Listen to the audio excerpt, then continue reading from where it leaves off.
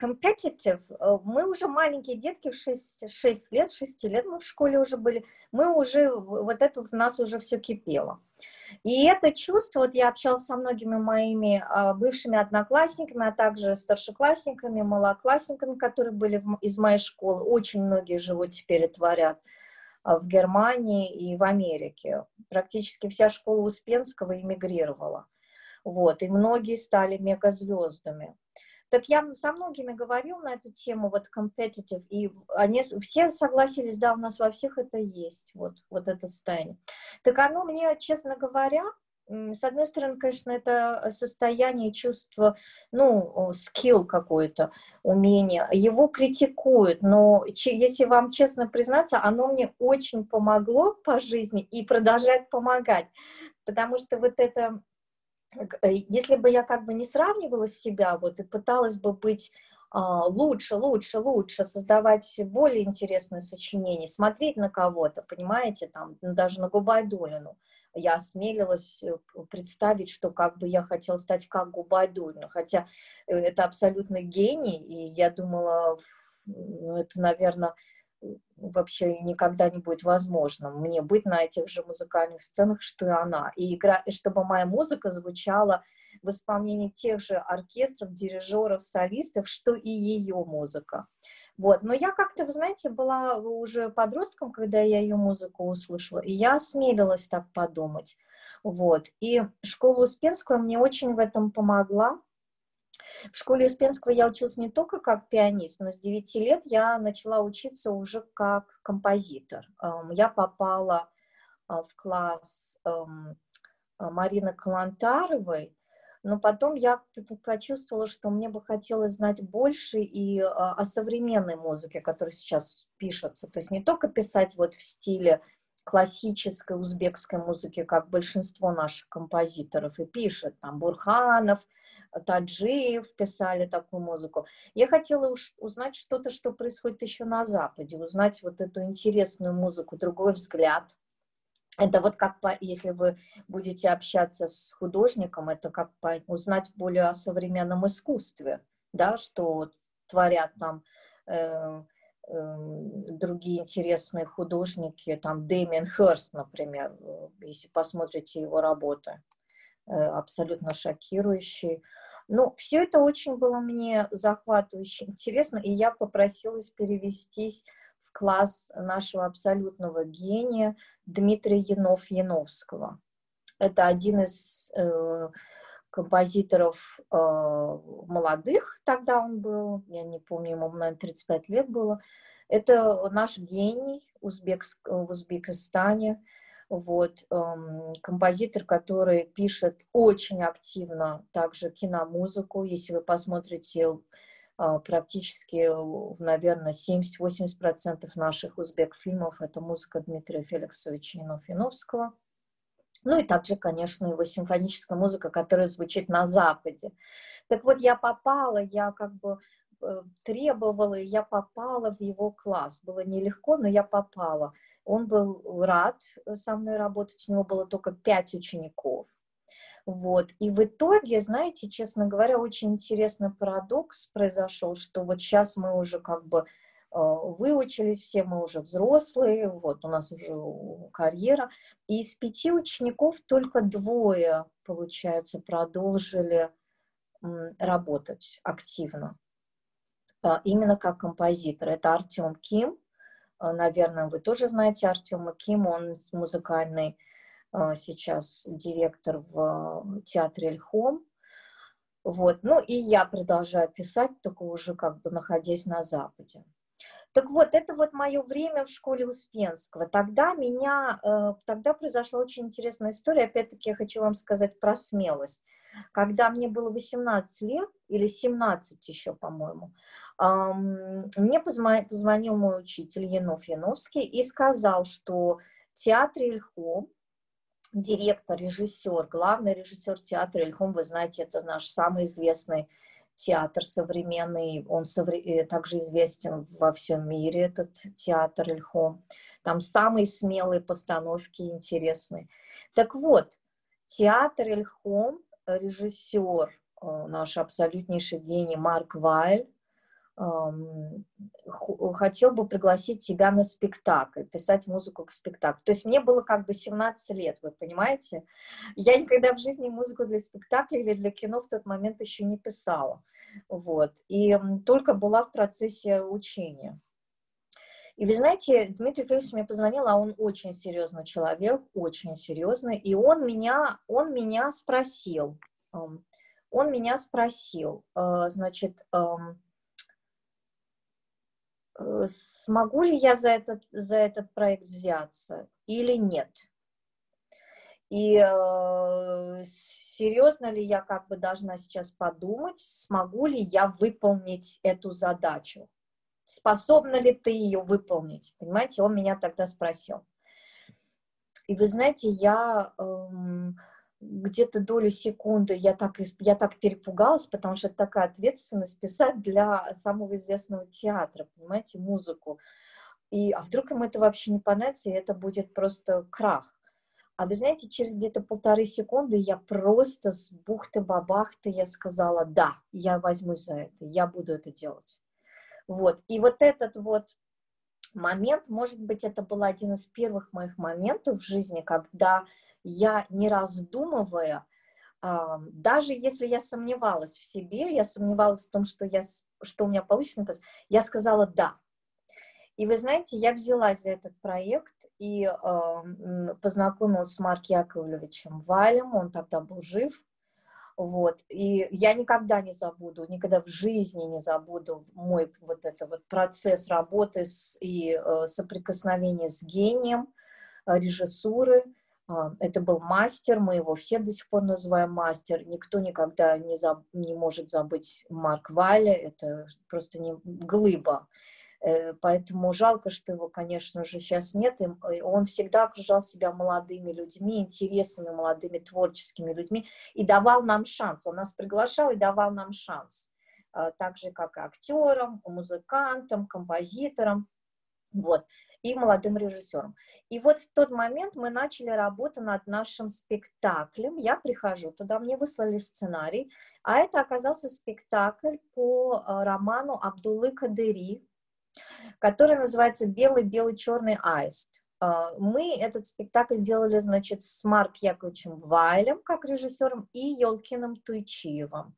Елкин Туйчиев тогда еще был студентом тоже. Елкин Туйчиев сейчас стал то, также одной из первых фигур в Узбек кино и одним из лидирующих режиссеров.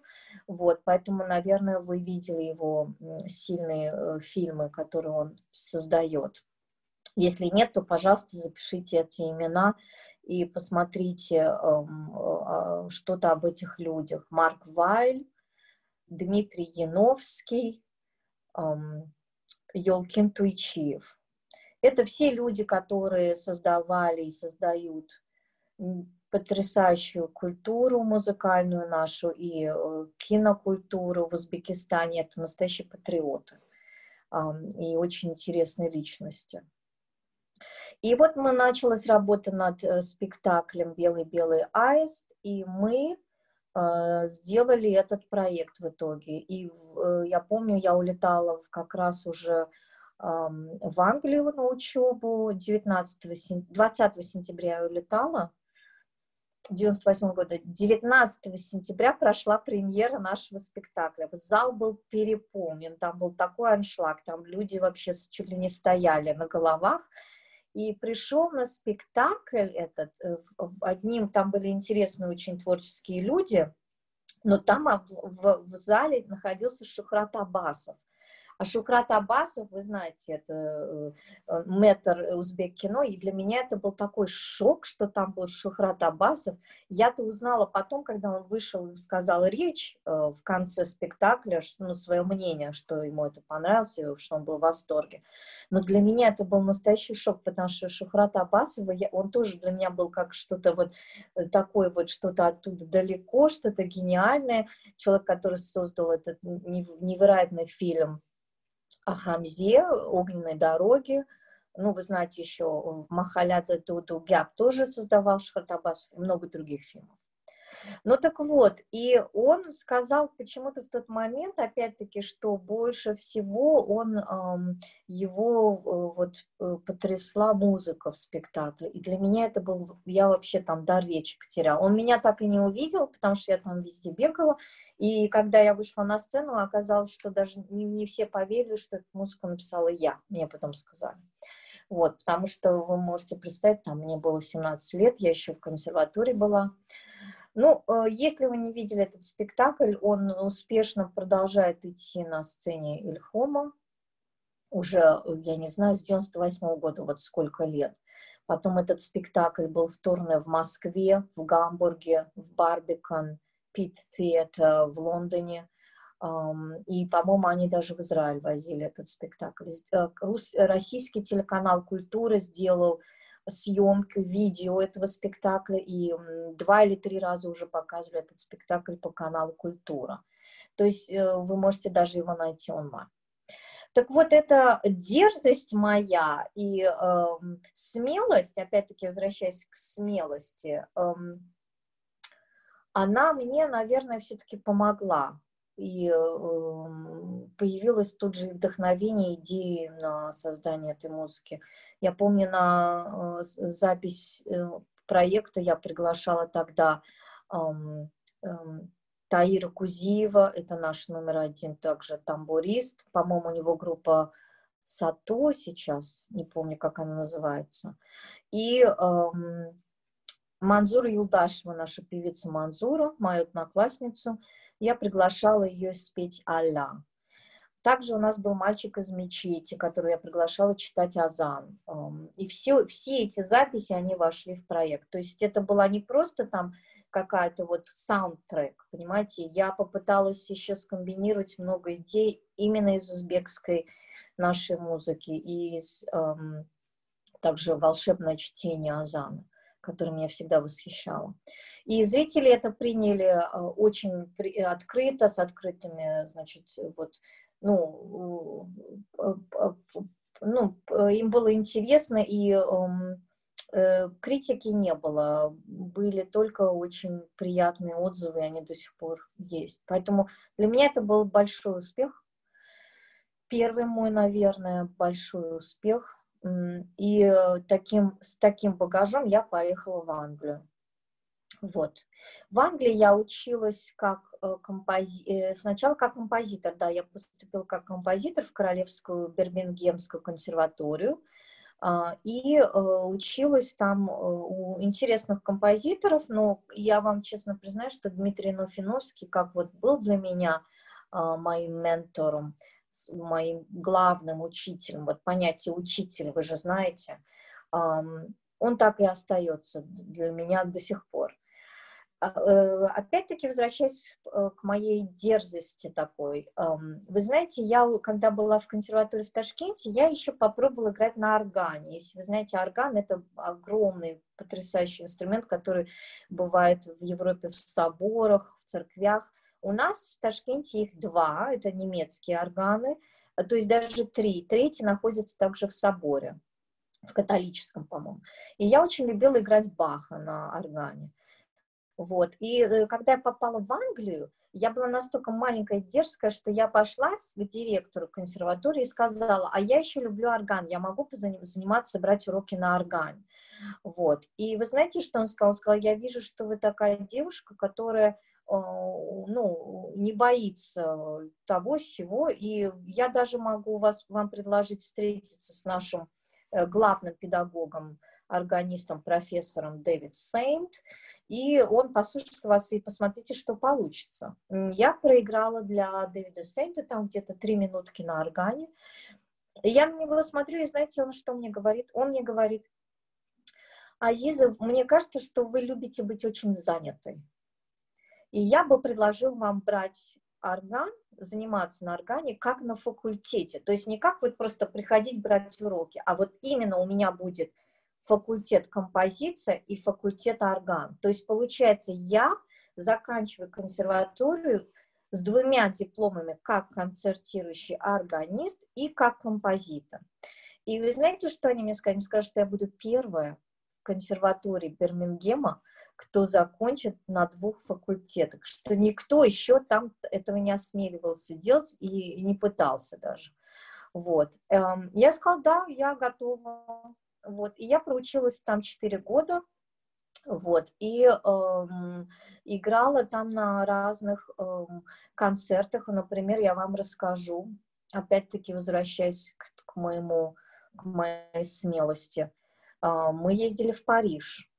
И в Париже, знаете, есть соборы известные, там э, Нотр-Дам, э, Сен-Сулпис, если вы видели фильм «Код да Винчи», там, по-моему, съемки идут в основном в этом соборе – и Сан-Клотильда.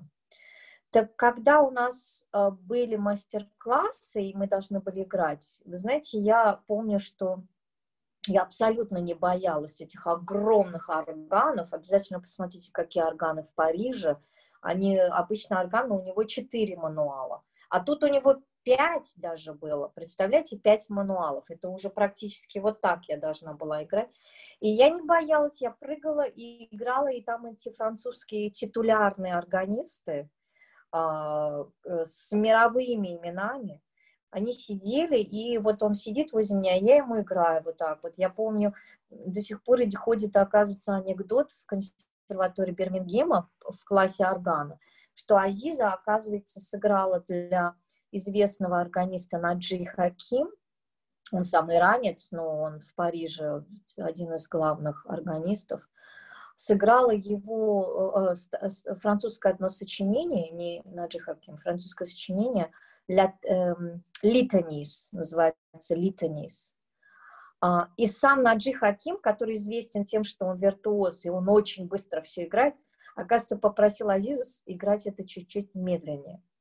Так вот, вы можете представить, какое э, вообще, что там начало у меня там происходить в Бирмингеме и какая интересная жизнь. Потому что мы ездили не только вот в Париж, мы ездили также в Амстердам, мы играли на красивых голландских органах. Один из них был абсолютно огромный, я помню. Там были даже огромные львы с двух сторон. Я не знаю, сколько там он. Там было ощущение, что он какой-то четырехэтажный орган. И, э, и еще, знаете, на что я решилась, пока я училась в консерватории? Не только быть органисткой, композитором, писать музыку, но также и попробовать себя как дирижер. То есть я предложила, у нас там был ансамбль небольшой современной музыки, и я попросила и сказала, а можно я тоже буду дирижером этого ансамбля? Вот. И в итоге я организовывала концерты и э, дирижировала.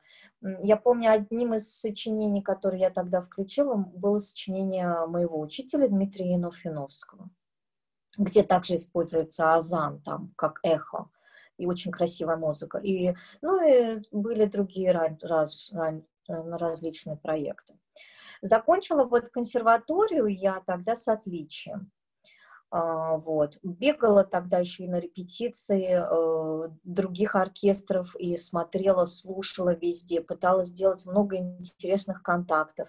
То есть я могла просто подойти к какому-нибудь дирижеру с мировым именем, типа сэр Саймон Раттл. Саймон Раттл — это номер один дирижер в мире вообще, уже сколько лет, уже больше 20 лет. Вот, и я э, ходила на его репетиции, сидела так тихонько, а потом могла просто подойти и представиться и сказать, что вот я пишу такую-такую-то музыку, я еще учусь. Вот, и история с самым Ратовым очень интересна, потому что год назад здесь, в Берлине, эм, я, э, был концерт, где я дирижировала детский хор, вот у меня большой детский хор также, и, э, и в аудитории был Саймон Ратл, пришел Саймон Ратл. Потом мы с ним общались снова. То есть, эм, понимаете, вот это эм, ощущение, что ты не должен бояться, если ты, у тебя вот ты какой-то несешь с собой вот этот меч или крест, я не знаю, что у тебя вот это твое творчество, и ты пытаешься его продвигать, ты хочешь, чтобы люди услышали о тебе, о твоей музыке, ты не должен бояться. То же самое я, э, я говорю сейчас о музыке, но я вам говорю о том, что если у вас какие-то другие навыки, таланты, никогда не бойтесь этого. А, э, вот это мое пребывание было как эм, студентки, а потом я уехала в Ташкент, и меня опять пригласили в Англию, а, уже работать в огромном соборе в историческом, в старинном городке Ворвик. Город Ворвик в Англии – это городок возле Стратфорд-апон-Эйвон, города Стратфорд. Они оба очень похожи, эти два города. Стратфорд – это город, где родился Шекспир. Это старинный город, 11 там, века, домики, все очень такое маленькое, крохотное, неимоверно красиво. То же самое был Ворвик. Там был собор, и там был средневековый замок, самый настоящий замок. Вот. И вы знаете, меня туда пригласили органисткой. Мне был 21 год. То есть вы можете себе представить, что это Англия. В Англии тоже есть свои органисты, понимаете? И у них своя вот эта культура, ритуалы там.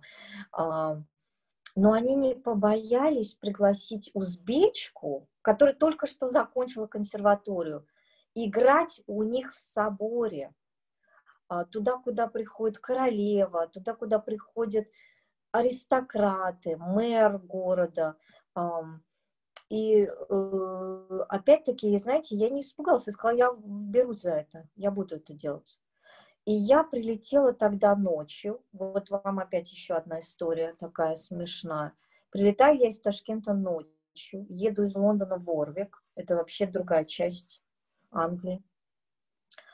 Просыпаюсь утром, и мне говорят, что э, ведут меня в собор, чтобы представить э, дирижера, там у них дирижер хора, который мне вдруг заявляет, что сегодня вечером концерт, потому что это уже подходило к Рождеству, а в Англии, в Европе очень много концертов бывает, особенно там исполняют много Баха, Вивальди, э, Генри Пурсел, это английский композитор.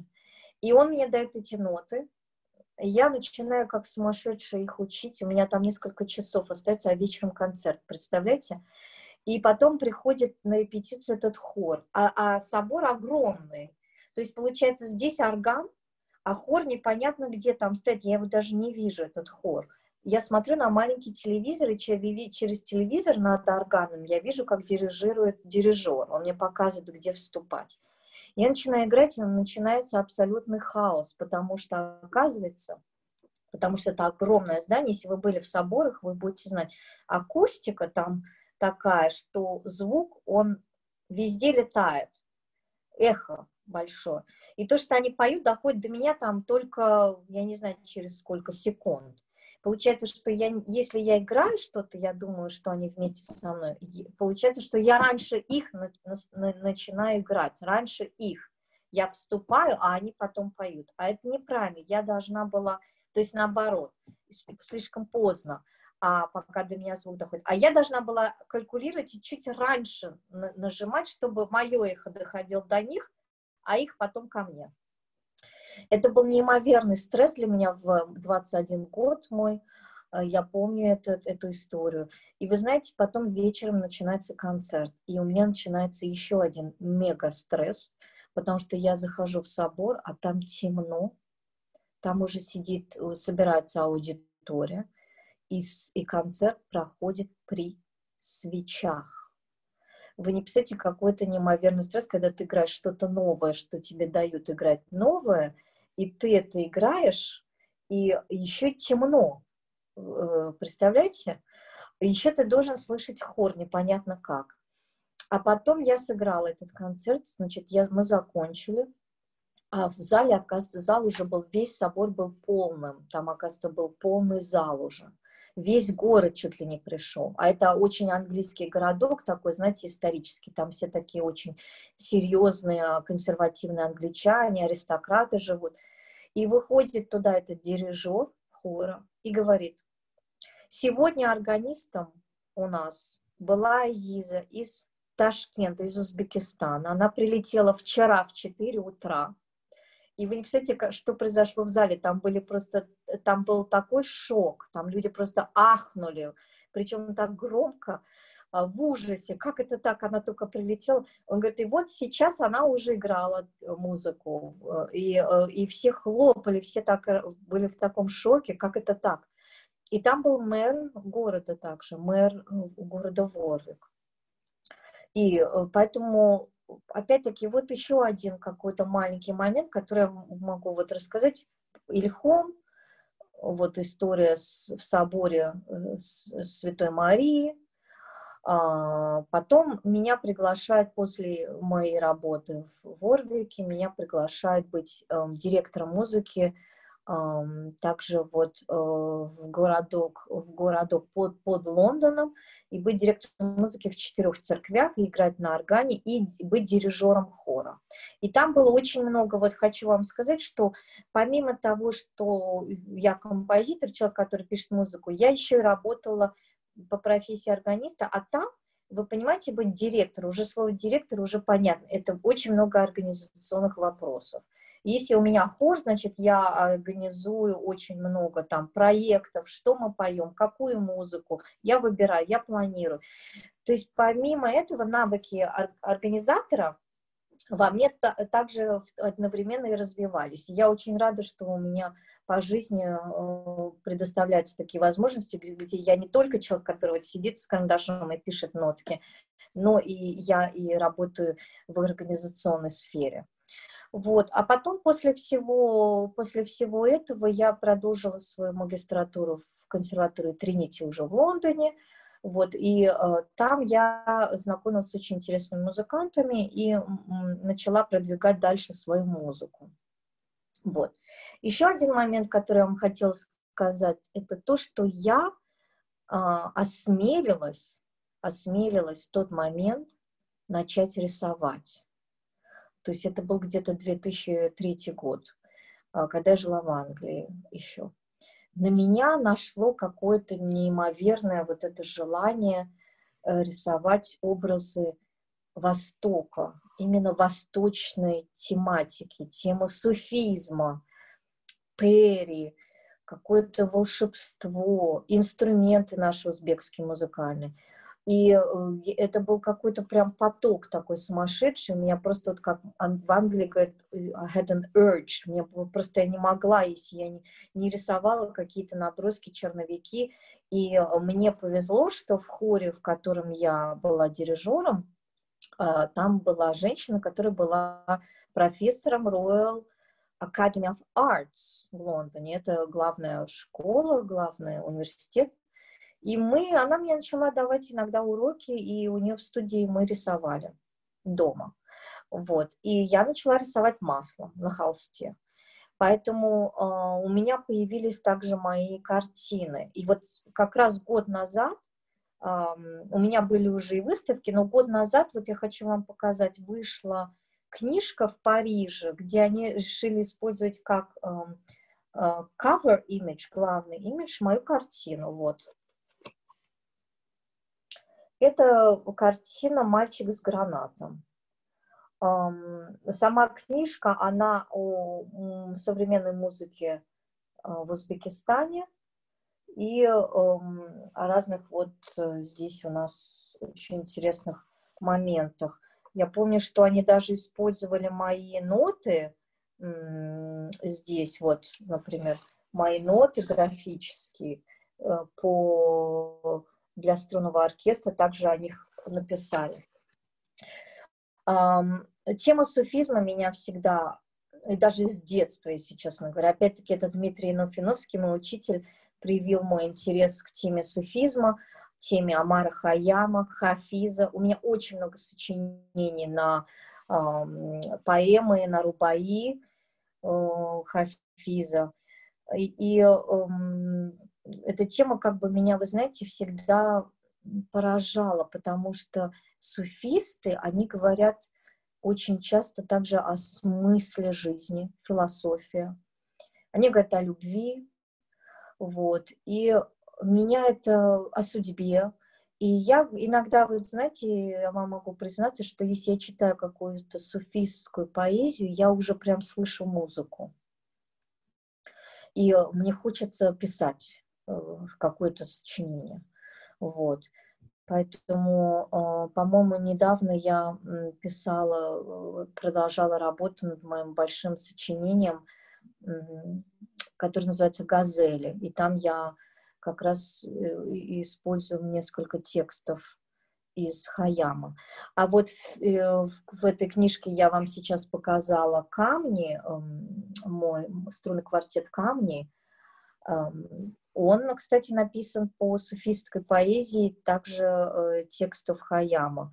И там были у меня такие части, как э, Такир, а, потом у меня есть часть Гули, девушки Перри, а, Зунар, и тупрок. Это о том, что мы все превратимся в итоге в пыль. Это то, о чем говорит Амар Хаям. Это, кстати, тематика меня всегда поражала, о том, что мы превратимся в пыль. И э, в прах, в пыль. И я очень много развивала, кстати, эту тему в своей музыке. И также сейчас и в своих картинах.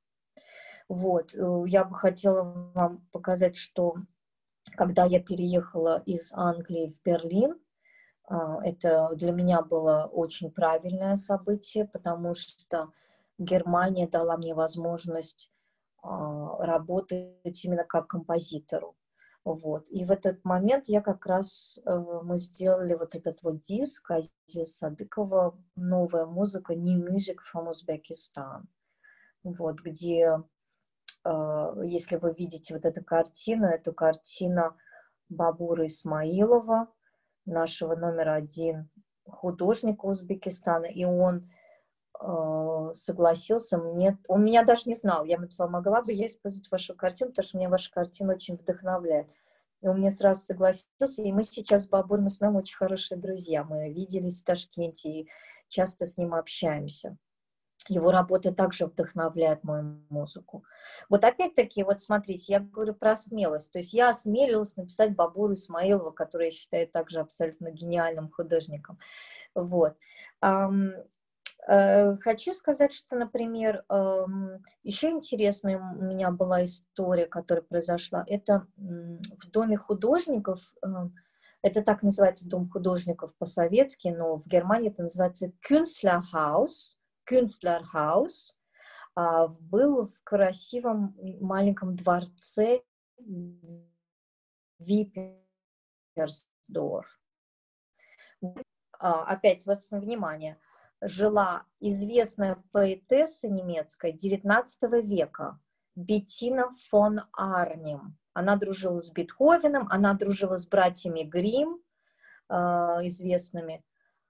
Вы знаете, что меня поразило? Я пошла в библиотеку и посмотрела, кто такая э, Беттина фон Арем, потому что я как бы живу, живу в ее доме, в ее дворце 4 месяца. Я хочу узнать, кто была эта женщина. И вы знаете, она в 19 веке жила, когда нам казалось, кажется, что женщины тогда были все домохозяйками э, в Германии, в Европе, и сидели только дома и э, рожали 7-9 детей. А оказывается, нет. Помимо того, что у нее было очень много детей, по-моему, 5, а, Беттина Фонарин была еще, оказывается, и композитором, и общественным деятелем, и еще немножечко политиком, ну и, конечно же, известная поэтесса. И, по-моему, даже немножко рисовала. И э, вот хочу вам сказать, что поразительное для меня это было абсолютно тоже такое удивительное э, от, открытие, что э, Беттина фон Арнем которой я думала была просто домохозяйкой, иногда писала какие-то маленькие стишки, оказалась такой уникальной личностью. Вот. В Виперсдорфе, когда я э, попал туда, знаете, мне было 27 лет. Я училась тогда вот в Тринити консерватории на магистратуре. И немцы меня пригласили, меня пригласило Министерство культуры. И вы понимаете, я попала туда, и у меня был абсолютный шок в течение первой недели. Оказалось, там было 25 человек, 25 абсолютно уникальных людей со всего мира, приглашенных туда, уже очень знаменитых к тому моменту. Там был, например, известный австралийский писатель Лук Дэвис – если вы э, посмотрите, кто такой сейчас Лук Дэвис, э, обязательно запишите его имя. Это номер один сценарист в Голливуде. Если вы видите сейчас в основном огромные блокбастеры, э, типа Lion или Call Me By Your Name, с Николь Кидман, Кидман в главной роли, Петерсоном в главной роли, вот актером из Twilight саги про вампиров, например, с Джорджем Клуни. Э, в главных ролях какие-то суперзвезды играют. Это все сейчас идет в основном на фильмах Лука Дэвиса, который, э, помимо того, что он потрясающий писатель, был, с которым я познакомилась тогда в свои 27 лет, а он сейчас уже э, номер один сценарист. Вот. А, и с Луком мы тогда, вы знаете, работали вместе. Я решила, давайте-ка я напишу музыку на вашу книжку ваших поэм «Тотем». А, и он тоже зажегся очень идеей, он тогда тоже был молодым, по-моему, 40 лет было, и мы вместе делали вот этот проект. В том году я сделала э, еще один проект с его э, стихами э, про любовь, который был в итоге, это был заказ Гамбургской филармонии, и пока, потом исполнялся в Эльфилармонии, это главный зал здесь, в Германии, в Гамбурге. Вот. То есть моя collaborations продолжается с этими людьми, несмотря на то, что они стали просто мегазвезды, мегазвезды. Потом, ну, вы знаете, в Випперсдорфе я познакомилась с писательницей Светланой Алексеевич. Если вы знаете, Светлана Алексеевич – это э, э, награждена на, э, в прошлом году или два года назад Нобелевской премией. Нобелевская премия – ушла э, белорусской, белорусской писательнице Светлане Алексеевич, с которой я тоже вместе очень много общалась, и мне было интересно тогда. Ну, и там было много других интересных э, художников из Швейцарии. А, одним из писателей также Арно Гайга, который тоже, тоже в тот момент был очень молод, 35 лет. Вы знаете, он тогда писал свой, э, один из своих романов. Может, это первый роман был, я не помню. А, и мы с ним очень сдружились. В итоге я написала оперу на его роман, потому что этот роман после э, нашего вот общения, после Випперсдорфа, стал бестселлером в Германии с миллионными продажами, и э, Арно получил награду лучшего писателя Германии. Beste Deutsche Buchpreis он получил. То есть как-то, знаете, вот вы меня попросили рассказать вам о себе, и я вот сейчас смотрю и вспоминаю все эти истории, люди, с которыми меня сталкивала судьба, и продолжать сталкивать, а, меня тоже это немножко поражает. Может быть, эти люди, как бы, они появлялись на моем пути, появляются, и они меня ведут дальше, потому что из всех этих встреч и происходят какие-то у меня новые проекты и сочинения. Вот.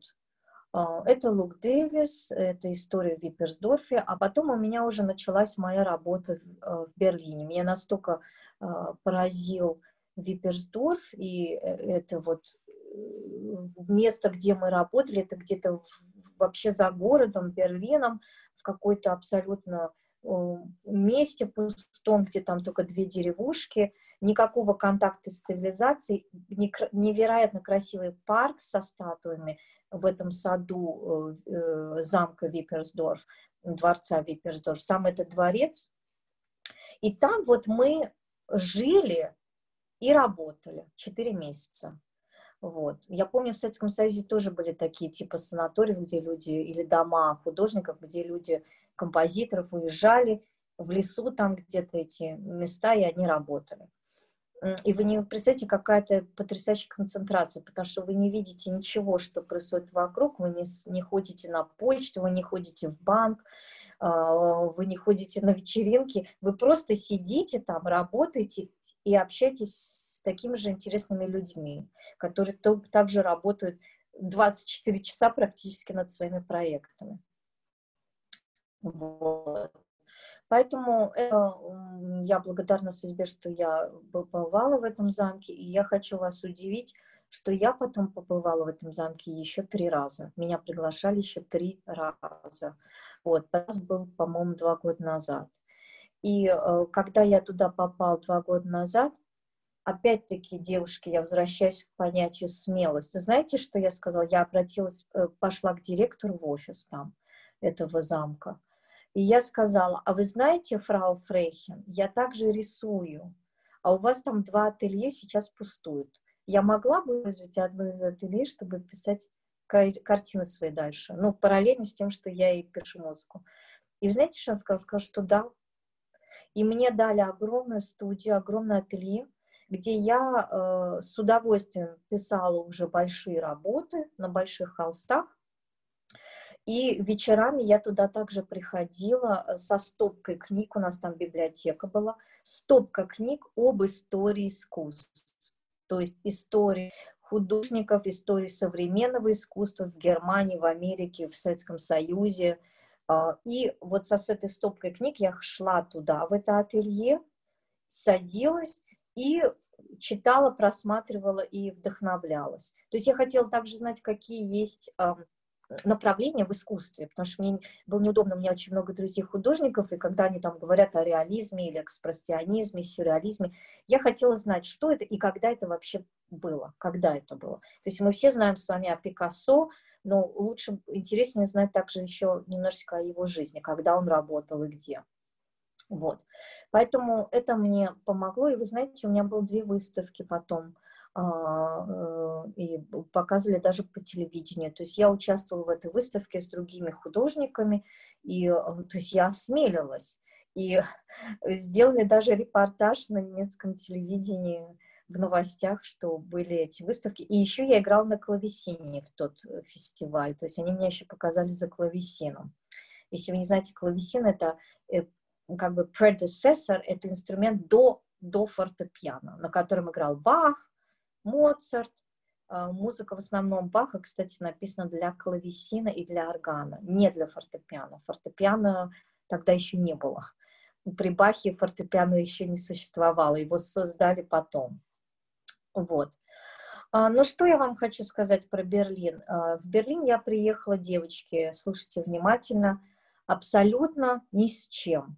Это был мой переезд в 2008 году. Я взяла два чемодана из Англии, и переехала в Берлин, потому что я почувствовала, что здесь такая творческая атмосфера невероятная, что я должна здесь находиться. Здесь все кипит, здесь кипит жизнь музыкальная, художественная, здесь тысяча галерей в одном городе, здесь две тысячи композиторов живет, вот, и каждый второй здесь, если вы выйдете на улицу, каждый второй здесь или художник, или музыкант, или композитор, или режиссер, или дирижер, или оперный певец.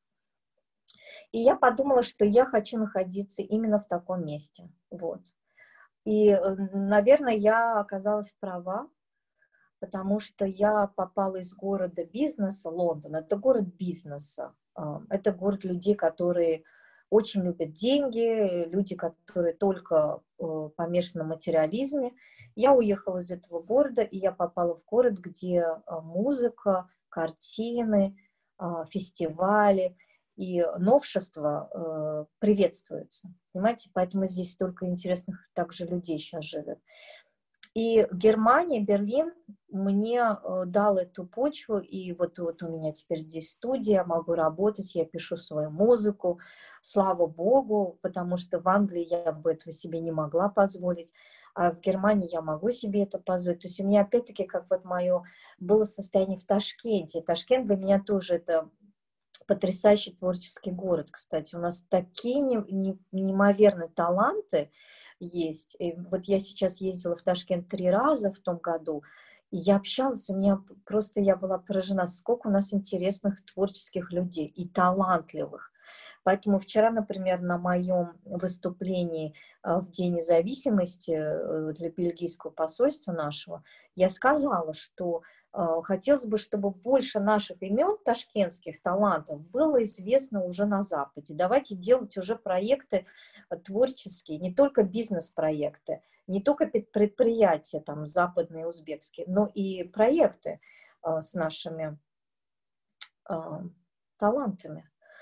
Ну так вот, в Берлине, конечно, что я вам могу сказать? Вы можете посмотреть мой веб-сайт, это работа с фестивалями, Сейчас у меня были, э, я писала большую оперу, это был немецко-китайский проект, мы ездили в Пекин, делала, я писала музыку для госоперы Пекина, Вот. Это очень серьезные также люди, но они э, были очень с большим интересом ко мне отнеслись. Им настолько это понравилось, что режиссер сказал, что он бы хотел со мной дальше работать, сотрудничать и делать теперь новый проект.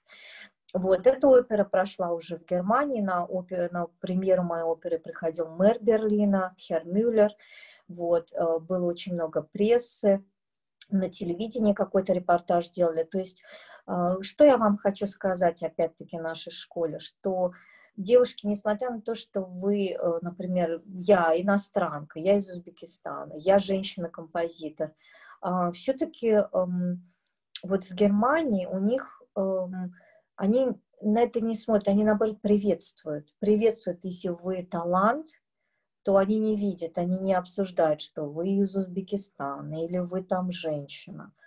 Вот. Поэтому что хочу еще добавить, что в Узбекистане, я вам хочу сказать, что вы должны дерзать, потому что в Узбекистане а, права женщин на самом деле, они очень даже защищены. У нас нет понятия, вот как в Европе. В Европе есть понятие женщина-композитор, женщина-писатель, женщина-художник. Вы знаете, у нас такого понятия нет, потому что мы там равны. Никогда в жизни, сколько я жила и училась, и работала, и была приглашена на самые разные проекты, э, как, даже когда мне было 18 лет в Ташкенте, никогда не задавался этот вопрос «женщина-композитор». Вот я композитор и все, понимаете? Я композитор. Да, у нас в Ташкенте, в консерватории, очень много, кстати, женщин-композиторов учатся наравне с мужчинами. Вот. А здесь э, их минимальное количество, вы удивитесь, но это так и в Америке, и в Европе. Поэтому у них здесь такое понятие есть, как женщина-композитор и приз для женщины-композитора. Такого понятия вообще нет у нас. У нас женщины э, являются главами больших предприятий, больших фирм, сколько у нас бизнес э, девушек, сколько у нас там директор школ, в основном женщины. Э, поэтому э, у нас, слава богу, с этим все окей, и поэтому э, я вам бы пожелала дальше как бы дерзать и э, иметь конкретную цель. Вот я помню, мой учитель Дмитрий Новский, он сказал, должна быть цель, ты должна знать, хочешь ли ты этого, и идти дальше к этому. И я как бы до сих пор к этому продолжаю идти, я продолжаю работать вот в сфере музыки. Если у вас есть какие-то вопросы, вы можете задавать, Нелюфар. Или мне дальше говорить. Я Спасибо. не знаю, сколько сейчас время. А, уже прошло как бы 50 минут. А, это было очень интересно. Меня слышно, да? Да. А, это было очень интересно. Я сидела и поражалась, какой путь, если честно сказать. И э, в какой-то мере я подумала, вот чего нам не хватает. Нам не хватает вот именно того, чтобы прийти к кому-то и сказать, а я вот это могу, да, у нас вот этого нет. А, потому что я знаю, что есть многие ребята, вот именно из молодых э, людей, таланты во всем, не только э, например, они какие-то лидеры, они знают хорошо язык, они знают предмет, но они не могут, как вы, просто прийти кому-то и сказать, я это могу, я это попробую, потому что у нас есть какой-то страх. И, наверное, а, сегодняшняя именно беседа показывает э, на примере, что не надо бояться. Если что-то у нас получается, если это получается хорошо, надо просто подойти и сказать, а я умею. Мне вот это даже, ну вы знаете, даже если есть, даже если есть волнение, вот у меня всегда есть какие-то сомнения, я думаю, а, а смогу ли я это выполнить, эту задачу, понимаете? Но я почему-то всегда говорю да, а потом уже это все делаю. А волнение и сомнения у меня есть всегда. Я вам хочу сказать, если вам может показаться, что я очень такой самоуверенный в себе человек, нет, как, как композитор, как музыкант, сомнения, как творческий человек, сомнения у меня постоянно со мной. А, если есть у кого-то вопросы, если вы не против, девочки будут включать, э, включать микрофон, говорить имя, да. фамилию, а, область и задавать свои вопросы. Да, на узбекском можно, я пойму на узбекском. Кызлар сауалиля болса микрофон дияндырып o'sha tartibda ism familiya va viloyatlarni aytasizlar va savolni berasizlar marhamat Xo'p, menda savol bor. Assalomu alaykum, Aziz opa. Men ismim Hilola Qayumova, Andijon viloyatidaman. Sizga savolim, mana karyerada shuncha rivojlanish bo'libdi. Oilangiz qanday holda ketdi? Ya'ni karyera bilan oilani qanday birgalikda ushlab bordingiz? Да, ну вот в этом плане я могу вам сказать, девочки, что я, эм, у меня есть мой партнер, с которым я живу, и эм, но э, в плане э, иметь детей я еще как бы к этому, наверное, не пришла. Поэтому э, я знаю, что есть женщины, которые с этим справляются, они, у них идет карьера и у них есть дети, а, а есть те, которые не справляются, и они бросают свою карьеру, свое творчество. У меня много есть таких подруг. Вот. Но у меня как бы я еще к этому не пришла, наверное. Я вполне нормально как бы существую как э, человек с партнером своим. И э, пока детки, я их очень люблю, я, у меня есть хор детский, где я веду хор, вот, но э, как бы такой вот большой семьи у меня нет. Ага, спасибо. Есть еще вопросы, Кызлар? Сavollaringiz bo'lsa mikrofonni yondiravering. Assalomu alaykum meni savolim bor edi samarqand viloyatidan nafosat olmosova hozir siz mana shuncha yutuqlarga erishibsiz bosib o'tibsiz ko'plab darajalarni aynan mana shu darajaga erishishda sizni farzandlaringiz tarbiyasiga kim yordam bergan yaqindan Да, я, наверное, я, она не поняла, что я сказала. Она не поняла. Айзапа, у меня да. есть вопрос. Может, Смотрите. на узбекском. Не, а, Айзапа, у меня есть вопрос, который, о чем я думала, а, потому что у меня есть такая практика, как а, жизнь за границей, и так получилось, что в тот момент а, я в какой-то мере осталась без ничего. У меня такое тоже было. И вот, а, как вы уехали одна, получается, и как вы справлялись? Потому что я знаю, что это сложно. Мне в тот момент, когда я училась, я одновременно, мне приходилось утром ехать 40 минут в другой город, отучиться там, в 6 возвращалась, и я работала в кафешке, я мыла посуду, я что говорю иногда маме, я говорю, я сама мыла посуду, чтобы заработать деньги на учебу, да, получается. Такие моменты тоже были, чтобы не просить деньги у родителей. А как это было у вас? Мне вот интересно вот этот факт, как да. это вы справились? Отличный вопрос также. И первый вопрос был также отличный. Правильный был вопрос по поводу семья и карьера. Это очень э, такой злободневный вопрос. Опять-таки, девочки, я хочу сказать, что э, есть женщины, которые выбирают семью, а есть женщины, которые выбирают э, творчество и там э, семью как мужа. Вот, ну, без детей это как э, child free сейчас есть такое понятие, но э, у меня этого понятия никогда не было, у меня просто не было никогда желания э, иметь детей на самом деле. Но эм, хочу сказать, что девочки это очень сложно. Если у вас, э, я могу себе представить, если бы у меня были дети, я не, не знаю, если смогла бы я дальше концентрироваться на своем творчестве и работать. А, опять-таки к тому вопросу, кстати, хочу добавить, я когда смотрела интервью Софии Губайдулиной, она сказала какую-то очень интересную вещь.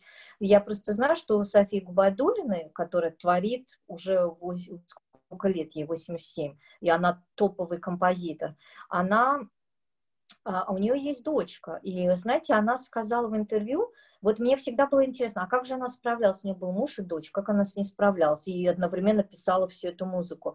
А оказывается, она дочка, она сказала в интервью, что она отдала родителям, то есть ее родители воспитывали дочку в Казани, а она в Москве работала активно как композитор и посвятила себя полностью творчеству, полностью. Но Единственное, что я могла бы вам сказать, о, о чем я думала, если бы даже у меня появилось желание иметь э, там детей, конечно же, я бы это делала только при наличии бэбиситера, и э, я бы не смогла, э, э, ну, как бы расти ребенка и одновременно концентрироваться, то есть это же нужно быть, быть должно быть полная концентрация, вы понимаете, если у вас какой-то проект, эти идеи, у вас должна быть тишина и концентрация. И я думаю, что я, конечно, одна, если вот у меня и будет ребенок, если я на это решусь, я не, не смогу с этим справиться. Без бэбиситера я с этим справиться не смогу. Вот. Поэтому это вот один момент. А второй вопрос, как же я тут выживала? Ну, как выживала, да. У меня была стипендия, когда я училась в консерватории в Англии, потому что в Англии ты без копейки денег даже один день не продержишься. У меня была стипендия, я получала стипендию, а потом, а, когда я вернулась в Англию, они знали, что я, я же не зарабатываю толком еще, вот, в городок Ворвик. Вы знаете, мне предоставили бесплатную квартиру, которая была прямо напротив собора, в старинном доме XI века, в старинном. Там были огромные красивые окна. То есть настолько англичане были, вот, они хотели помочь и хотели меня, чтобы я работала у них. Вот, и, э, и я получала также деньги уже как органист, и я могла Э, э, жить. Вот. А потом я же сказала, что я получила работу вот как директор музыки, и у меня уже была э, и зарплата, и у меня уже был муж в тот момент в Англии, и как бы я была как бы сейф в этом плане финансовом. Опять-таки, мне кажется, Бог мне очень помогает в этом плане, что я могу концентрироваться на своей музыке, на творчестве, и э, сейчас я, слава богу, у меня уже идут заказы, вот с тех пор, как я переехала в Берлин с 2008 заказы идут, и они хорошо оплачиваются на оперы, на симфонические сочинения. Сейчас, кстати, мы делаем проект саундтрек к э, аудиокниге от Кен Кунляр а, по Абдулла Кадыри. И сейчас у меня в проекте задействовано очень много наших звезд из Ташкента. Люди, которые мне сейчас записывают то, что я их пишу для них, они мне поют там или записывают на своих инструментах, высылают. И сейчас у меня идет такой collaboration проект с Узбекистаном.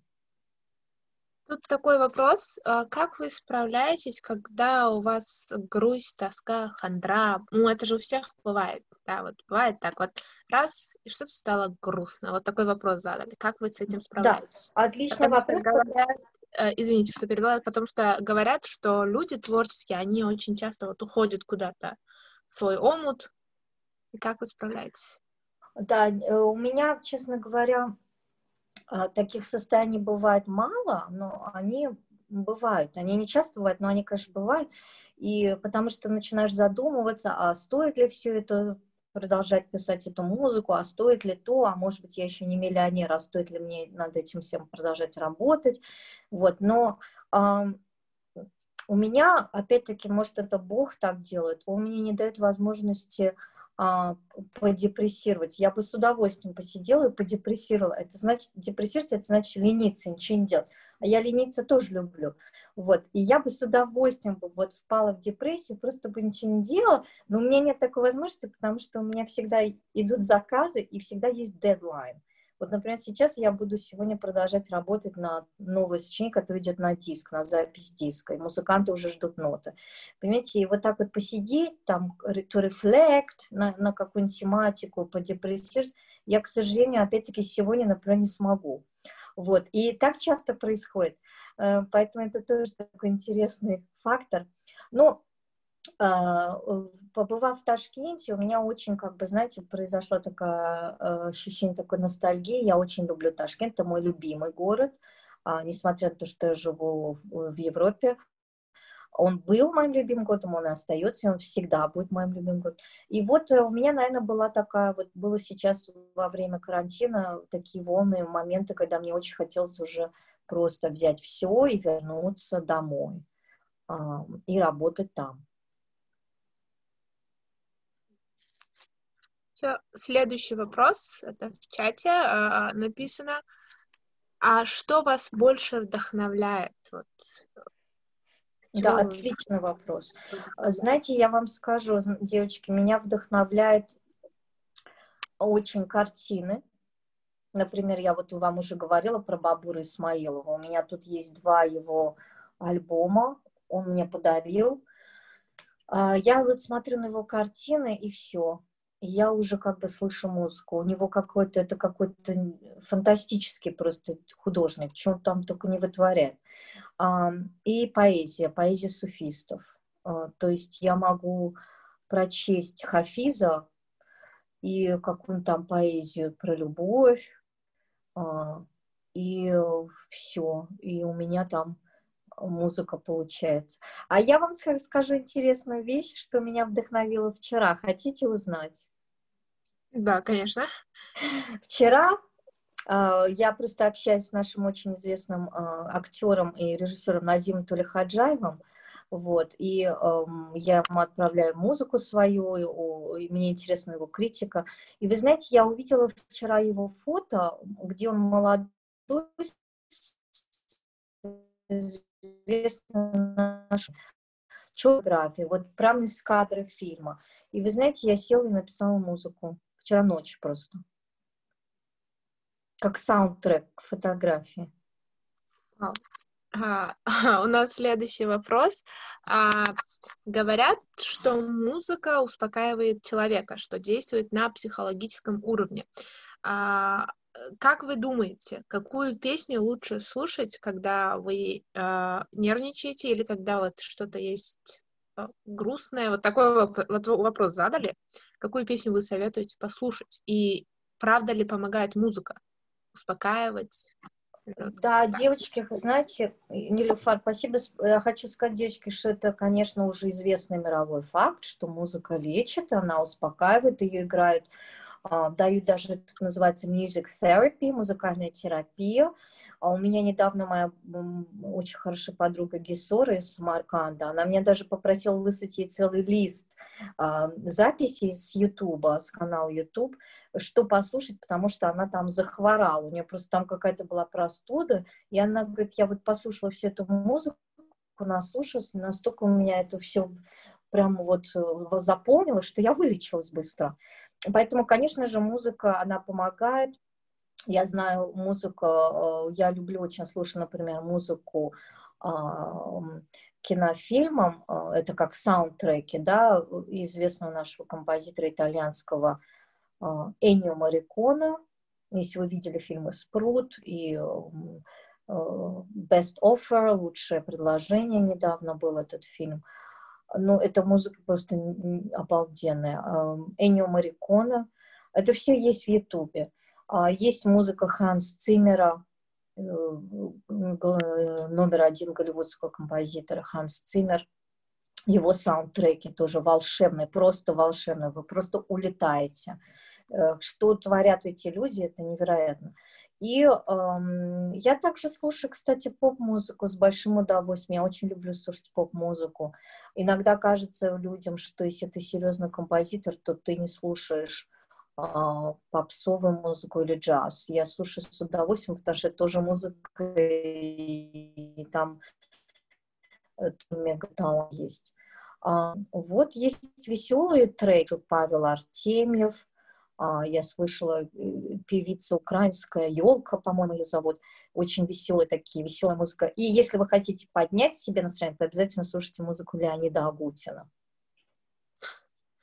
А, тут такой вопрос идет в частный чат. А, они спрашивают, можете ли вы отправить вот такой вот список, а, как совет девочкам, который вот успокаивает, как вы сказали, что лечит или еще что-то, потому что каждый спикер оставляет нам а, мини-презент, скажем так. Вот, например, один психолог оставил нам свои книги, точнее, список книг дал, кто-то еще список, а они сейчас просят список музыки или ваше, или то, что вы думаете, вот человек должен послушать, чтобы хотя бы вникнуть, да, вот этот магический, скажем так, круг музыки. Вот.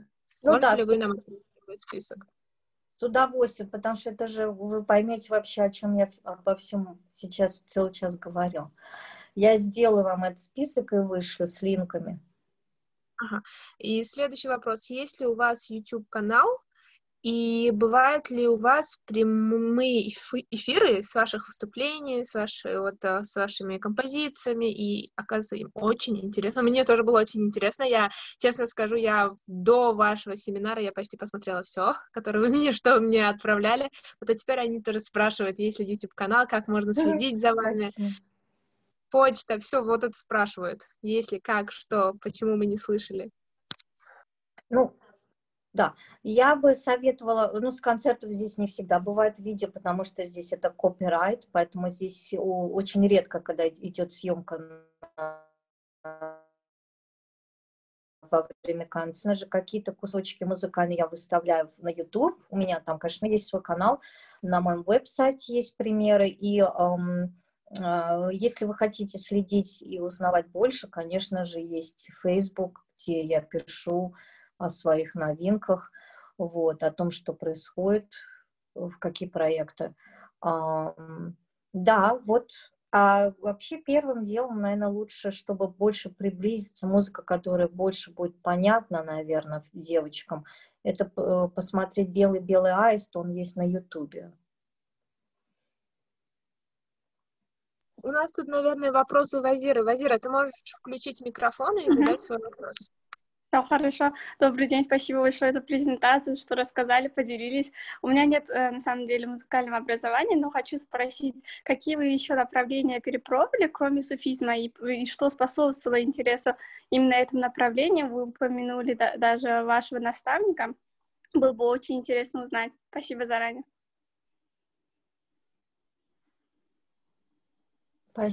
Еще есть такие направления, например, в литературе абсурдистская а, поэзия или по, э, ну, да, проза. И это, например, Франц Кавка, он был очень странный, вот, но у него, вы знаете, Франц Кавка известный писатель, его э, книги, его история, вообще его личность. Это был такой странный персонаж. Почитайте его дневник своей возлюбленной. Э, и немножечко, наверное, вот это вот психологическое состояние человека, то есть мы все, ну, хотя нет, не все. У нас есть, есть очень много нормальных людей, но есть еще очень много странных. Вот. И эм, вот эта странность в человеке, она меня также всегда, вот эта mystery, mystery, мистика, странности, она меня также всегда привлекала, мне было интересно, потому что там ты как бы углубляешься больше во внутренние эмоции, состояние психологическое психическое. Вот. Например, Кавка много в дневнике пишет про моменты разладов, то есть breakups от его девушки, когда они вот сходились, расходились, сходились, сходились, что она о ней думал и почему она так себя ведет. И вот это вот его внутреннее состояние, оно у него все в письме, вот в этом, а, в этом дневнике. Тагесбух называется, Тагесбух. Вот. И эм, меня как бы сам его персонаж немножко удивил, и захватил. И я написала несколько сочинений про вот это вот внутреннее эмоциональное потому что мы там внутри немножко все странные, мы все по-странному мыслим. Вот, если бы мы были бы все такими простыми фигурками, тогда бы, наверное, мир был бы очень простым, не было бы кино, всех этих историй, всех этих событий, которые происходят там в новостях, вы слышите. Это и еще один был такой персонаж в России в это же время, в 20-е годы, это Даниил Хармс, вот, который тоже был со своими мега странностями. И у него тоже есть дневник, а, где он тоже пишет про вот это свои любовные отношения со своей женой, бывшей первой женой. А, и там очень все это мега интересно, найдите это онлайн, это все есть. И вот эти, э, вот эти наши странности, перепады настроения, все это, это меня очень завлекло. Я писала несколько, да, несколько сочинений написала на эту тему.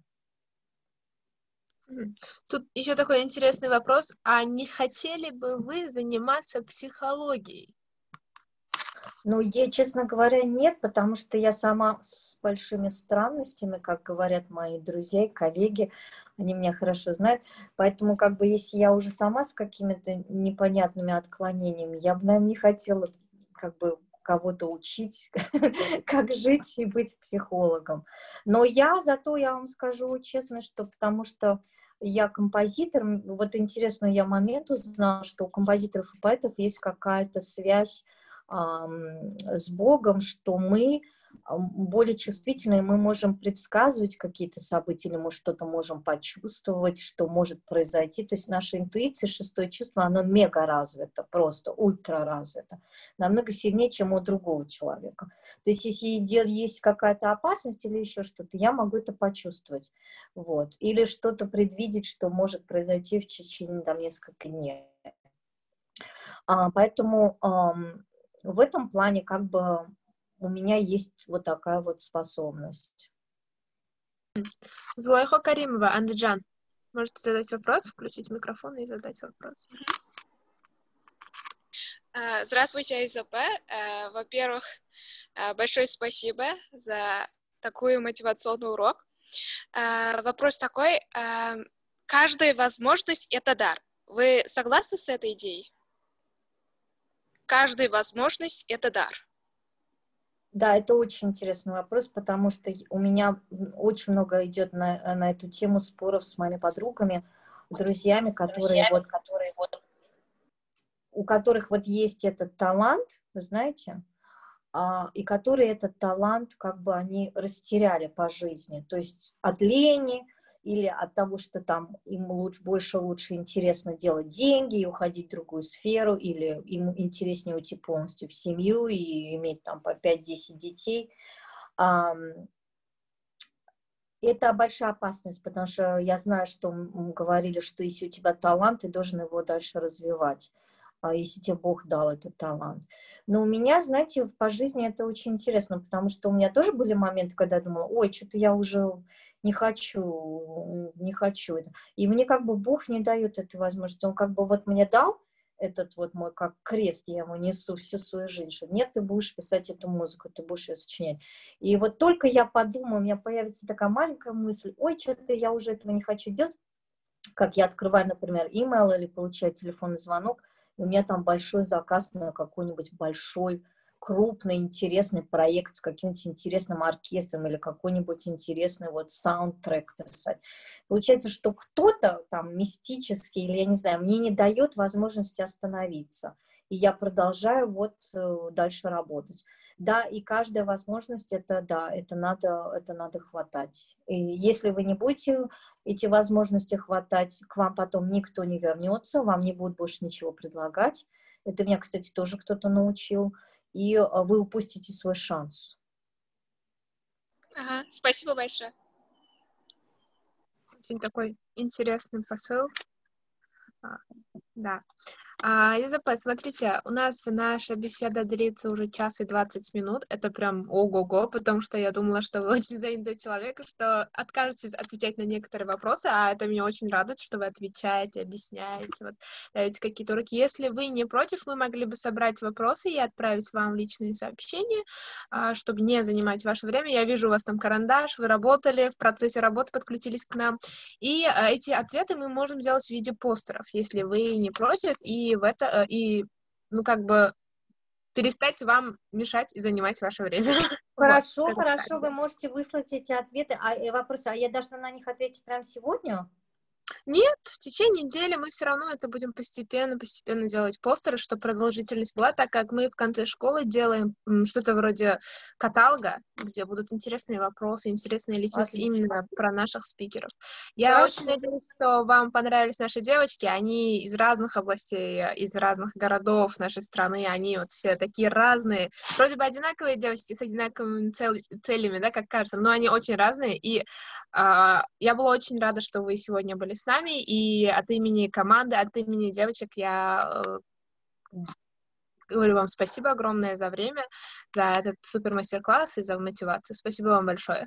Спасибо всем девочкам, и я желаю всем, конечно же, огромных успехов, какой бы вы путь ни выбрали. Э, в любом случае, любой путь, какой вы выберете, попытайтесь быть там в этом, в своем пути лучшими. Спасибо, Спасибо вам большое. Спасибо, до свидания.